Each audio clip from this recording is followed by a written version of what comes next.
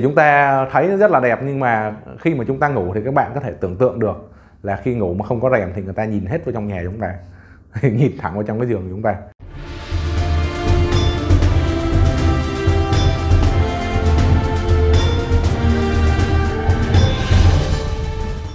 Chào các bạn, mình tên là Nguyễn Đức Tú, là giám đốc công ty xây dựng Laco. Thì hôm nay tiếp tục mình chia sẻ cho các bạn những cái chi phí mà khi chúng ta xây nhà hầu như chúng ta lãng quên, chúng ta không nhớ tới nó. Nhưng mà khi chúng ta vô ở ngôi nhà rồi, chúng ta mới thấy là nó cần thiết. Thì hôm nay mình sẽ chia sẻ cho các bạn. Thì ờ, trước mắt để chia sẻ thì mình sẽ nói lại cho một các bạn một xíu về phần thô và phần hoàn thiện thì phần thô ở đây là những cái ờ, liên quan tới cái độ vững chắc của ngôi nhà như là gạch cát đá xi măng dây điện ờ, ống nước đó còn cái hoàn thiện là gạch lan can cửa rồi sơn nước thạch cao bóng điện thiết bị vệ sinh thiết bị điện. Đó là những cái à, chi tiết để hoàn thiện ngôi nhà của chúng ta. Thì hầu như khi chúng ta tiến hành chúng ta xây nhà thì chúng ta chỉ cần quan tâm tới đó thôi. Đó đó là gọi là xây nhà chọn gói tới mức hoàn thiện. Thì uh, khi mà chúng ta vô nhà chúng ta ở thì các bạn cũng biết đó các cái nhu cầu chúng ta bắt đầu nó phát, phát sinh ra nhưng mà vô nhà thì không có gì để ở hết. Không muốn sinh hoạt, không có gì hết. Thì cái thứ nhất, mình nói cái mà hay lãng quên nhất là những cái hệ thống mà nước nóng lạnh. Nếu mà chúng ta không có quan tâm tới nó, thì khi mà chúng ta tắm, nhất là cái thời tiết mà mùa mưa như thế này này, trời rất là lạnh. Chúng ta không có máy nước nóng thì chúng ta phải tắm nước lạnh. Đó, thì chúng ta cần phải lưu ý cái vấn đề đó. Để chúng ta khi mà làm thì chúng ta cần phải tính toán trước hệ thống nóng lạnh nó đầy đủ cho chúng ta, cho ngôi nhà. Và tiếp tục nữa mà rất là nhiều người khi mà xây nhà quên mất. Đó là khi mà chúng ta thiết kế cái nhà mà cái cái cửa rất là nhiều á thì nó là ờ, quên mất cái, cái các cái rèm cửa. Đó thì chúng ta thấy rất là đẹp nhưng mà khi mà chúng ta ngủ thì các bạn có thể tưởng tượng được là khi ngủ mà không có rèm thì người ta nhìn hết vào trong nhà chúng ta nhìn thẳng vào trong cái giường của chúng ta. Thì đó thì chúng ta cũng phải tốn cái chi phí cho cái rèm cửa cũng rất là nhiều tiền. Thường nó khoảng là 2 tới 30 triệu cho cái hệ thống rèm cửa của chúng ta. Đó. Thì nhất là các cái mặt mà nó có bị nắng chúng ta phải dùng các cái rèm hai lớp, rèm chống nắng thì nó sẽ mắc tiền hơn. Nên chúng ta cần phải lưu ý để chúng ta tính toán một cái khoản cho cái rèm cửa của chúng ta. Và cứ tiếp tục là cái à, máy lạnh. Thì các bạn cũng biết cái mùa hè rồi. Khi chúng ta làm mà chúng ta ờ, xây dựng chúng ta ừ, quên mất là mình phải làm cái hệ thống đường ống máy lạnh. Đó. Thì chúng ta mà quên mất chúng ta không làm thì khi mà chúng ta ở mà chúng ta cảm thấy nóng thì chúng ta mới biết là ờ à, mình đang thiếu cái máy lạnh.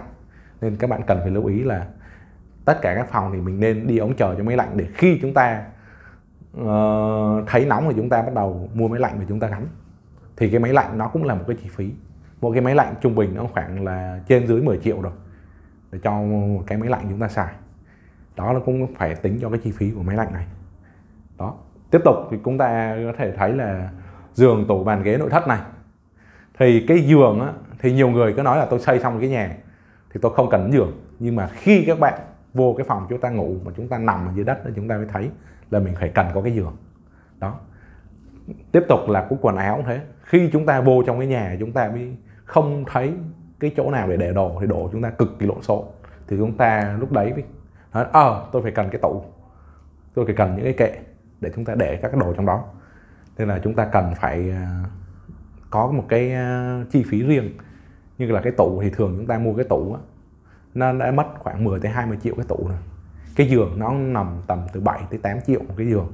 Đó thì à, tùy vào số phòng thì chúng ta tính toán để chúng ta có được cái khoản chi phí đó để chúng ta khi mà chúng ta vô cái nhà chúng ta ở chúng ta sử dụng, chúng ta ngủ nó mới ngon được. Chúng ta mới kiếm tiền được. Đó. Và tiếp tục nữa, đây là những cái nhu cầu này. Những cái tủ lạnh máy giặt này. Thì hầu như là các bạn khi mà chúng ta ở những cái nhà mà nhà cũ hoặc là nhà nhỏ, chúng ta hay xài những đồ cũ, những đồ nhỏ. Đó. Nhưng mà khi vô nhà mới chúng ta mang ở đây, chúng ta là thả vô cái, chúng ta thấy nó chất quất rồi. Nó rất là xấu. Nó rất là xấu luôn.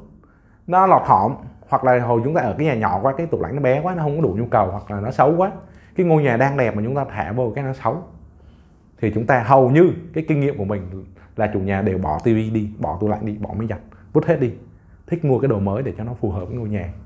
Đó, nên là cái đấy các bạn cũng cần phải tính toán. Những cái tủ lạnh máy giặt này mỗi cái nó khoảng chục triệu rồi. Đó, thì các bạn cần phải tính toán cái chi phí đó.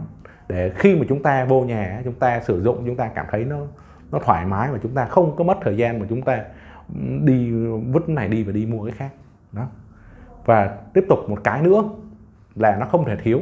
Trong những cái ngôi nhà mà chúng ta muốn nó thông thoáng và muốn cái ngôi nhà chúng ta nó mát đó là những cái khoản cây xanh này cây xanh là hầu hết đối với khách hàng của mình xây nhà khi mà người ta xây nhà xong ai cũng tốn một cái khoản để chúng ta mua cây xanh. Cái các, các bạn cũng biết rồi một cái cây mà các bạn ra ngoài kia mua cả chậu cả cây, ít nhất nó phải 500 ngàn.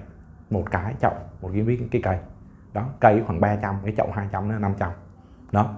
Thì để một cái ngôi nhà chúng ta đẹp, chúng ta phải mua ít nhất từ 2 tới 30 cái cây. Chúng ta trang trí cho cái nhà của chúng ta. Đó là cái kinh nghiệm của mình. Thế thì nó phải mất khoảng là, nó phải 5 tới 7 triệu cái tiền mà cho các cái cây xanh này để nó làm đẹp cho ngôi nhà của chúng ta các bạn có thể tưởng tượng là cái ngôi nhà khi mà xây xong, bốn bức tường nó chỉ là bức tường xây không mà nó không có cái trang trí những cái đồ này vô. Thì các bạn thấy cái ngôi nhà nó chắc chắn nó không có đẹp. Cái ngôi nhà đẹp khi mà chúng ta làm đầy đủ những cái thứ này, có những cái mảng cây xanh vô. Thì cái nhà nó, chúng ta mới cảm thấy happy vì ờ, được mọi người khen là cái ngôi nhà của chúng ta đẹp. Chúng ta bài trí nó rất là hợp lý. Đó là những cái chi phí mà hay lãng quên. Thì tất cả chi phí này mình đã chia sẻ cho các bạn thì mong các bạn hãy có một cái khoản chi phí riêng dành riêng cho nó, để cho cái ngôi nhà chúng ta, người ta tới người ta khen ngôi nhà chúng ta, khi chúng ta ở chúng ta cảm thấy hạnh phúc và đầy đủ. Nếu các bạn có thắc mắc gì thì các bạn có thể comment ở bên dưới hoặc là gọi điện cho mình mình sẽ tư vấn thêm cho các bạn. Và các bạn hãy chia sẻ cái này cho nhiều người biết để họ đừng có quên cái chi phí này, để họ làm sao vô cái nhà ở được thoải mái nhất. Chào các bạn.